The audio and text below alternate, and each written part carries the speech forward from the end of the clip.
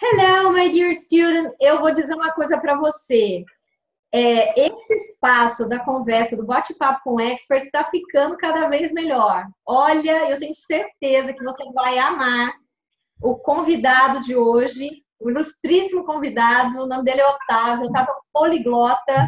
E eu tenho certeza que as dicas que o Otávio vai dar para a gente aqui nesse bate-papo com experts vai ajudar você que quer aprender sozinho ou que está buscando é, mergulhar um pouco mais no idioma, né? Se você faz um curso online ou se você frequenta um, curso de inglês presencial, aulas de inglês presenciais, eu tenho certeza que o que ele vai entregar para a gente nessa conversa hoje vai valer ouro em pó para você e vai ajudar você a dar um, um up aí na sua fluência.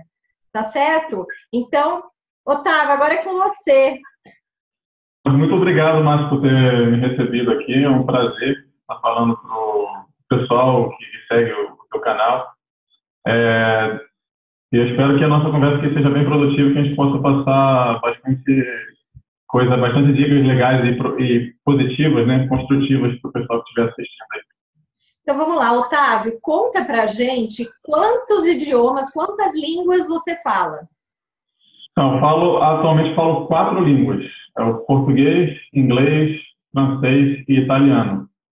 Aí eu e a, a eu não, eu não chego a falar que eu falo, né? Porque é um nível muito, muito tem que melhorar bastante. Mas eu arranho também no espanhol, porque minha avó era boliviana, então ela falava espanhol comigo quando era criança.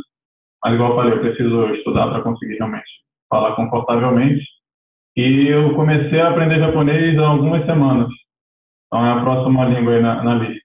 Nossa, que show, né? Bom, isso aí, acho que aprender idioma é uma coisa muito louca, né? Você começa a estudar um, aí aprende um, cria um amor com, esse, com essa coisa do aprender, aí investe no outro, não quer parar mais, né? Sim, ah, com certeza. Eu, quando aprendi, a primeira língua que eu aprendi foi inglês, né? Como a maioria das pessoas, né? É o mais valorizado hoje em dia. E para o inglês, eu, eu gostava de falar inglês, mas o ato de estudar e ter que fazer aula e tudo isso, fazer dever de casa, eu, eu não, era tipo um, um mal necessário para o prazer que era depois conseguir falar inglês. Uhum. Mas Aí isso me, me, me, me afastou. Eu continuei com a vontade de querer aprender, mas sem, sem ter que estudar, sabe, fazer aquela, aqueles exercícios e tal.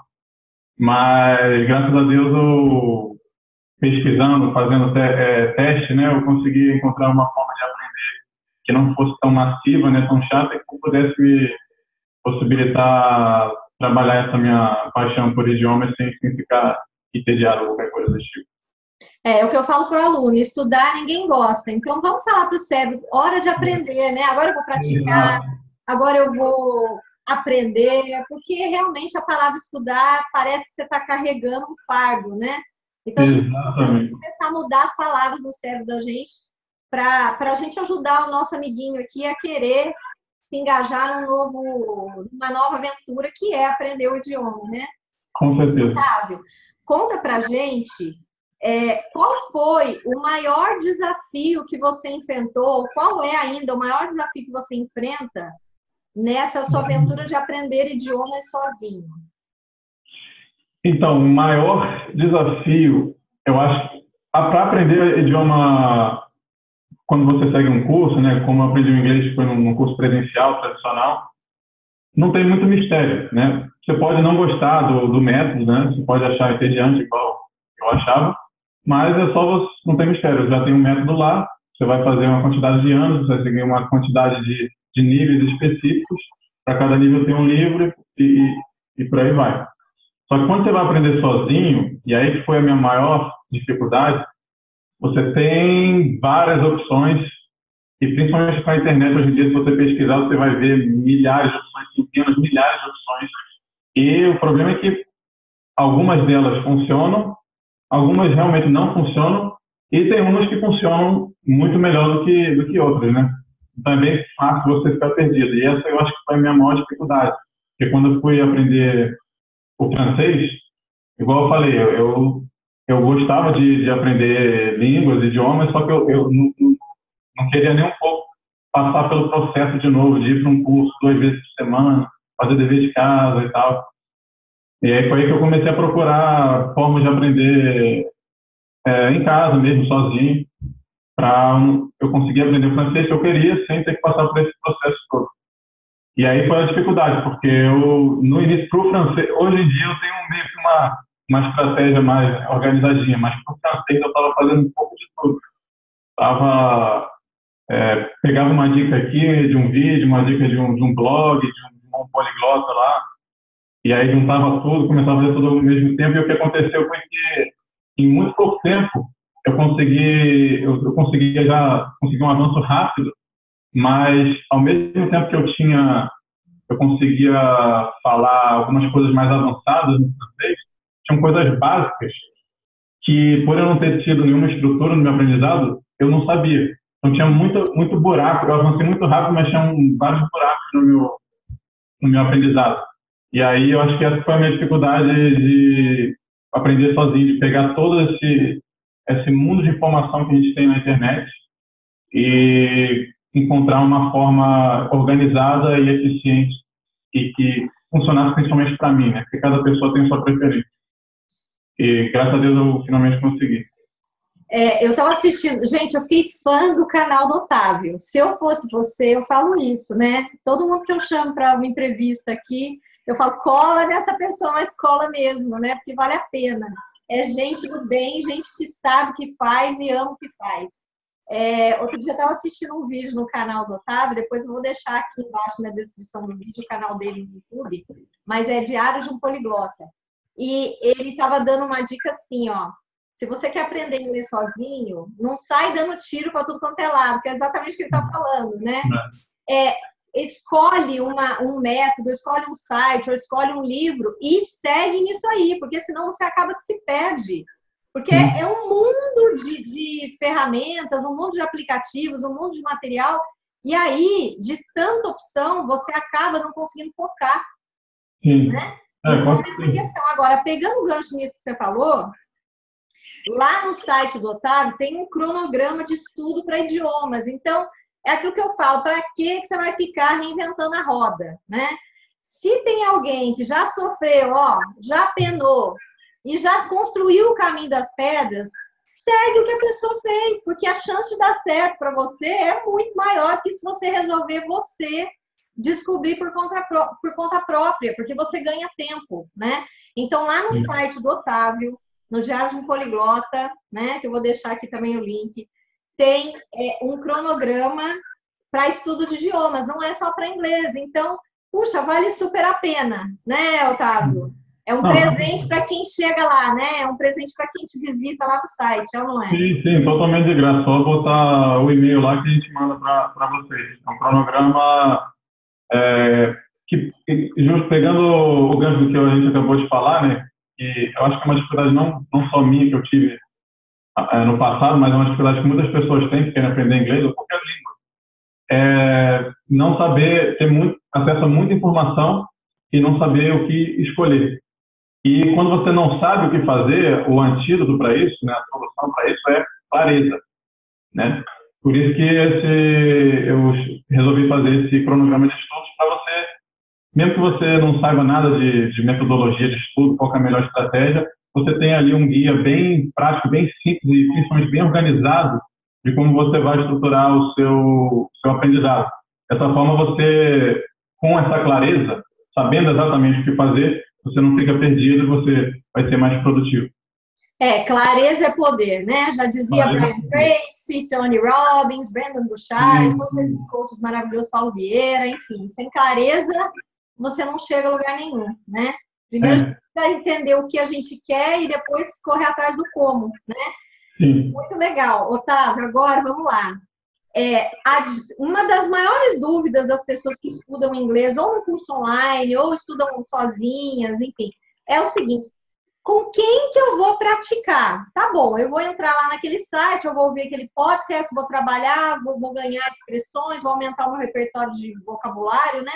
Mas e aí? Eu vou praticar com quem? Dá uma uhum. dica show de bola para a galera aí.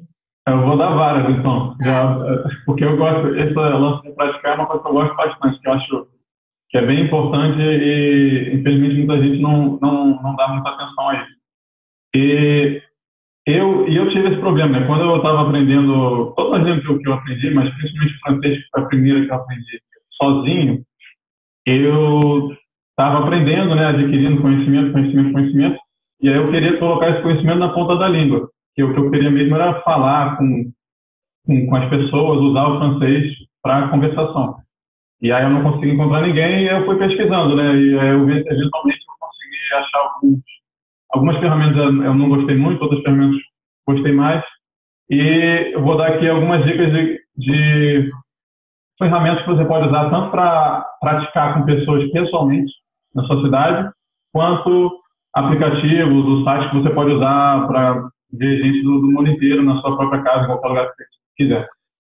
Então, pessoalmente, eu gosto muito do Clube Poliglota, que você, eles não têm site, eu acho que eles não têm site, eles só têm um grupo no, no Facebook. E aí eles têm o grupo do Facebook é Clube Poliglota Brasil, e lá eles indicam os clubes poliglotas em todas as cidades. Então tem lá Clube Poliglota São Paulo, Clube Poliglota Rio de Janeiro e por aí vai. Cada cidade tem, tem seu clube poliglota. E aí você, uma dica que eu dou para você, você ir lá no Facebook, pesquisar é, Clube Poliglota, aí você bota o nome da sua cidade, e aí vê, normalmente eles se encontram semanalmente, uma vez por semana, e aí tem gente lá, a maioria, sempre, sempre tem muita gente que fala inglês, né? Então, se vocês querem aprender inglês, não vai faltar oportunidade, mas o legal é que você, tem muita gente lá que fala todo tipo de idioma, então, alemão, francês, russo, húngaro, às vezes você acha uns idiomas mais diferentes assim. E como é uma comunidade de pessoas que estão bem interessadas e bem apaixonados né, pelo aprendizado de línguas, você vai se sentir bem acolhido. Né? Porque um problema bem comum das pessoas que vão praticar é sentir medo, né? sentir medo de errar, de ter constrangimento. Então, você ter esse ambiente acolhedor, acho que é muito importante. Por isso, Clube Poliglota, pesquisa lá se tem algum na sua cidade. E online, você pode usar o aplicativo HelloTalk. Existem vários que eu falei, eu poderia falar aqui, mas o HelloTalk, eu acho que dos que eu conheço é o que eu, que eu mais gosto. É um aplicativo que você usa no seu próprio celular, tem uma, uma, um layout bem parecido com o WhatsApp, então é bem intuitivo de você usar, e você pode encontrar pessoas do, do mundo inteiro lá. Então, de novo, se você quer aprender inglês, inglês dos Estados Unidos, inglês britânico, né, se, se você tem interesse, você pode selecionar lá para procurar só para ver pessoas da Inglaterra, e eu acho que você vai gostar bastante. Inclusive, né, lá no canal do Otávio no YouTube, tem um vídeo onde ele fez um tutorial no Hello Talk. Como é que faz para entrar, como é que você faz para cadastrar. Ele colocou lá, mostrou ele até é, falando, fazendo um bate-papo, agora eu não lembro qual que era, acho que não sei se era alemão, inglês. É, acho que era que eu tinha começado alemão, é, talvez tenha sido alemão. É, foi alguma coisa do tipo. Então, se você quer aprender direitinho como é que faz para acessar o Hello Talk e, e, começar a praticar, vai lá no canal. Vou, vou até deixar o link, vou deixar o link do vídeo, desse vídeo do Hello Talk aqui embaixo na descrição também. Então, guarde aí o aplicativo é o Hello Talk e é, o Clube do Poliglota. Clube Poliglota. Clube Poliglota Brasil. É, Brasil, no, no Clube Poliglota Brasil vai ter. Vai ter do Brasil inteiro. Né? Mas, por exemplo, eu moro em São José dos Campos. Eu posso, de repente, procurar no Face lá, Clube Poliglota São José dos Campos. Sim, exatamente, pode procurar. Show Nem não são todas as cidades que tem, mas existe é. no Brasil inteiro. Vale a pena procurar. Muito legal. Olha, gente, show de bola, hein? Eu falei que vocês iam amar, né? Então, vamos lá. Otávio, conta pra gente, é, se você pudesse dar uma dica assim, que o povo brinca, né? Fala que é a dica de um milhão, que vale um milhão porque, puxa, vale ouro, né? Uma dica é, da fluência, a dica de um milhão para chegar lá na fluência. Qual é, uhum. sei lá, né? Todo mundo fala, qual é o segredo da fluência? Sim, sim. Bom, eu vou dar duas, já que, porque a primeira que, eu, que seria a dica, né? Já tem a ver com o que eu acabei de falar, que a primeira dica seria praticar o quanto antes. Porque para você ser fluente, você falar uma língua não é igual você estudar história, por exemplo. Estudar história é 100% intelectual. Ou seja, você estuda, você faz o download do conhecimento e pronto, acabou, não tem mais nada. Para você falar uma língua, que é uma habilidade, vou dar, antes eu vou dar um exemplo de uma coisa que é só habilidade. Por exemplo, é, basicamente só habilidade. Você não precisa nem adquirir um conhecimento sobre isso. Se você alguém te, te ensinar ali, você começar a andar de bicicleta, começar a pegar o equilíbrio, pronto, processo feito. Agora, para aprender uma língua, você precisa dos dois. Você precisa tanto do conhecimento quanto a, o do desenvolvimento da, da sua fluência, da habilidade, né? E se você não, se você não, se você só focar na habilidade e você só focar ou só focar no conhecimento, você não vai ficar fluente. Os dois são igualmente necessários. E eu, eu sempre bato na tecla de praticar o quanto antes, porque é, nessa equação é, é, a parte que é menos é, enfatizada, né? Então essa é a primeira dica.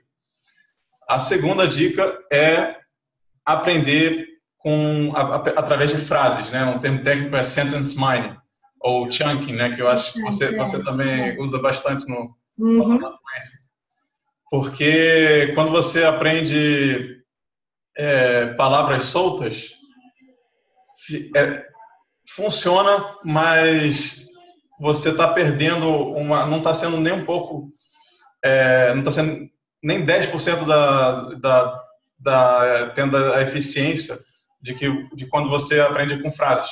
Quando você aprende com frases, você não está só aprendendo a, a palavra, mas você está aprendendo estruturas gramaticais mesmo que você não esteja estudando gramática em si. E além disso, você também está tendo um contexto. E esse contexto, quanto mais referências a gente tiver para uma palavra que a gente está aprendendo, mais fácil vai ser a gente lembrar dela. Então, essa seria a segunda dica. Show de bola! Então, olha só, é, eu também sou dessa linha. Inclusive, acho que no, no, no, canal do YouTube tem um vídeo onde eu falo dessa questão. Eu acho que, de uma maneira geral, tem duas é, correntes na questão do aprendizado de idioma. Uma que diz que você tem que ficar ouvindo, ouvindo, ouvindo, colocando input para depois falar, e uma que é fale desde o primeiro dia, né? Que é isso que o Otávio está falando. Eu também acredito muito nisso, até porque o nosso aparelho fonador já está preparado para isso. Se você fica só colocando informação no teu cérebro você não começa a praticar colocando para fora, né, na habilidade de output, você está é, atrasando a tua fluência. Porque mesmo que você não fale com a pronúncia perfeita desde o começo, é da prática e da repetição que você vai lapidando a sua fluência, né? Então eu também acredito nisso. Foi assim que funcionou para mim, foi assim que eu aprendi. Não, é, na verdade, aqui não estou aqui para criticar ninguém. Eu acho que todas as metodologias elas têm o seu ônus e o seu bônus. Todas levam à fluência, algumas levam mais rápido, outras levam um pouco mais devagar, mas isso é fato, né? Quanto antes você começar a treinar, mais rápido você vai ser um falante do idioma, né? Porque senão você aumenta demais o seu vocabulário passivo e de menos vocabulário ativo. E eu acho que esse, Otávio, não sei se você concorda comigo, é o maior pecado do learner, né? Ele fica ali naquela fome de querer é, é, aprender como é que fala, como é que fala, mas aí ele peca em não praticar. Sim. Então, ele fica assim, puxa, não sei o que acontece comigo, que eu entendo tudo que o fulano está falando, mas eu não consigo responder, né? É porque ele não, não parou para praticar aquilo que ele está tendo contato. Então, se você aprendeu bom dia em inglês, pratica bom dia. Meu nome é, pratica meu nome é. Não vai ficar seis meses ouvindo, né? O chunk, a frase para depois começar a balbuciar. Não, bora, vamos, vamos, vamos vamos para a ação, né? É uhum. começar a praticar mesmo e praticar por meio de sentenças, que é o que você falou, que é o que eu também falo e a maneira como eu ensino os meus alunos. A gramática já está embutida na expressão, né? Se você quer aprender para chegar no nível de falante autônomo, que é um nível que ajuda você a se comunicar, a interagir no dia a dia, o mais importante é isso, é não colocar a gramática na frente da fala. Sim. Né? É, é aquele negócio, sei, né? Não sei de você, né? Eu acho que essa dica vai servir para quem já está no nível de falante autônomo e quer é, chegar lá no upper, intermediate, no avançado. Chegando nesse nível, aí é legal começar a estudar um pouquinho mais a gramática. O que, que você acha? Concordo 100%. É como se fosse eu eu considero o estudo o estudo direto de gramática, né, o estudo formal, é, porque quando você está aprendendo com frase, você está aprendendo gramática também, mas de uma forma mais intuitiva. Uhum. Mas eu considero o estudo formal de, de, de, gramática é como se fosse um polimento importante para quando você passar de um nível intermediário para um nível avançado. É. Bacana. Olha só, é, Otávio, eu não sei, eu acho que se todo mundo conseguisse manter o foco e a disciplina nos estudos, todo mundo seria fluente. Eu acho que, não sei se você concorda comigo, mas eu vejo isso. Eu acho que um dos maiores desafios de quem quer aprender um idioma é conseguir manter a disciplina e o foco até chegar lá. Não Sim, é? Verdade. É isso, né? Com certeza. E aí, o, o, o, Otávio, ele tem um treinamento, chama assim, ó, treinamento disciplina para idiomas.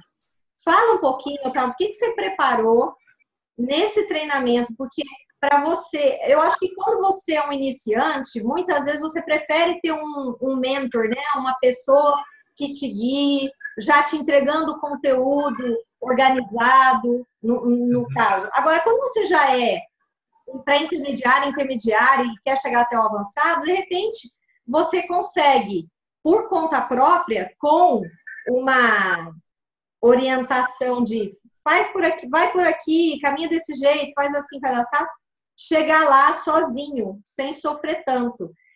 Eu não sei, conta pra gente o que, que você preparou nesse treinamento disciplina para idioma, porque eu acho que é tudo de bom e é tudo que você que está assistindo a gente precisa para se manter firme aí no teu propósito e chegar lá na conquista da fluência que você tanto deseja. É, então, é, eu pensei justamente nesse, em fazer esse treinamento porque é um dos problemas, eu faço de vez em quando pesquisa com, com o pessoal que, que segue lá o blog, o canal, para entender melhor o que, que eles estão passando, qual é a maior dificuldade, para eu atender justamente o, o, as dificuldades né, e as dúvidas que as pessoas estão tendo. E eu, talvez a dúvida mais frequente que eu tinha, que eu percebi nessas pesquisas, era justamente a questão da manter a disciplina, ou então procrastinação, ou então fazer com que o idioma se torne uma parte do, do meu dia a dia. Coisas relacionadas que a gente poderia colocar tudo no mesmo pacote e falar que era problema de, de disciplina, de disciplina, de manter a consistência nos estudos, né? O que é bem comum é as pessoas começarem a aprender um, o inglês, por exemplo, e ficarem muito motivadas durante um mês e aí depois disso o negócio cai. Assim, eu acho que é, depois de uns dois meses assim é normalmente onde o pessoal começa a mais sentir um declínio assim na motivação.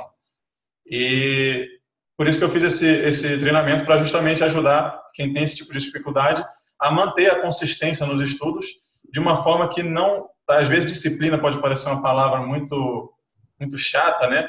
Mas o treinamento foi feito justamente para você conseguir manter a consistência nos estudos de uma maneira que não drene a sua energia, que não seja é, entediante ou, ou nada do tipo, que seja muito pelo contrário agradável, né? Então, basicamente tem quatro quatro formas de você manter a disciplina. Uma delas é o autocontrole, que realmente é uma coisa que que você precisa se impor um pouco, né? Às vezes não é um pouco muito agradável, mas outra, as outras três são, as outras formas de você chegar na disciplina é você ter motivação e existem formas de você, existem estratégias, né, técnicas que você pode usar para manter a motivação. Você não precisa ser um negócio é, que está acontecendo organicamente em você. Você pode, você pode tem o, o, um autor que eu gosto muito que é o Zig Ziglar, que ele fala que motivação é igual tomar banho. Você tem que fazer isso todos os dias. É então, no treinamento eu falo bastante sobre isso, coisas que você pode fazer para ter esse banho de motivação, digamos assim. Também outra, então, autocontrole, motivação, hábito é outra coisa que você pode usar para você manter a consistência nos estudos, que é uma coisa que você faz automaticamente sem nem pensar, igual você escova os dentes, não não drena a sua energia de jeito nenhum. E a outra forma é o planejamento, igual a gente já falou aqui antes, clareza é poder. Uma das talvez o primeiro motivo que faça as pessoas procrastinarem é ficar na dúvida do que fazer. Né? Então, quando você tem um planejamento específico bem claro e você sabe exatamente o que fazer, é muito mais fácil você manter a consistência nos estudos. Tá Show bola, hein? Ai, dá vontade de ir lá agora no site do Otávio e se inscrever nesse treinamento. Dá ou não dá? Olha, não perca, eu vou deixar os links aqui abaixo da descrição. Inclusive, o Otávio ele preparou mais outras coisas para entregar para você que quer aprender mais e melhor, mas aí você tem que ir lá visitar o site dele, vou deixar os links aqui, tá? Otávio, nossa, olha, eu acho que é tão interessante falar com o poliglota, né, com alguém que já é, descobriu o caminho das pedras. Eu acho que a gente podia ficar a tarde inteira aqui, eu fazendo uma série de perguntas para ele, porque acho que não ia esgotar nunca é, os assuntos, né? Agora, a minha dica é essa mesmo. Vai lá no canal dele, vai lá no site, tem muito artigo show de bola, tem muito vídeo bacana. Eu tenho certeza que vai valer a pena para você. E quero deixar para você, Otávio, o meu agradecimento, a sua generosidade de ter reservado um tempinho para estar aqui com a gente para bater esse papo. É, quero agradecer você, aluno, follower, que está curtindo o meu trabalho, né, e o trabalho de quem eu convido para compartilhar com você aqui no canal. E é, quero deixar para você, Otávio, se você tem mais alguma consideração final para deixar com a galera aí, antes da gente, puxa, encerrar esse bate-papo, que, para mim, tá show de bola. A consideração final seria só praticar o que a gente falou aqui, né? Porque ficar só no, na teoria não, não, não vai te dar resultado. Então, vê, faz, tira, faz a anotação, revê aqui a, a aula, pega os pontos que mais é, você mais achou relevante para você e bota em prática que com certeza você vai gostar do resultado. E foi um prazer para mim também estar aqui. Eu agradeço muito o convite. Espero que a gente tenha ajudado bastante o, o pessoal. E é isso. Ah, muito legal. Então é isso, pessoal. Well, that's all for now. See you soon for another video. Bye bye. Bye bye.